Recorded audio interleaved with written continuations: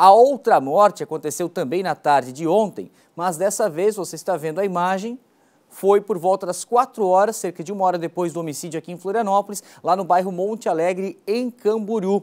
A polícia militar encontrou um corpo com várias perfurações na região da cabeça e também nas costas. Segundo testemunhas, foram pelo menos cinco disparos. Matheus Dutra, de 20 anos, possuía diversas passagens por tráfico de drogas, posse de drogas e também direção perigosa.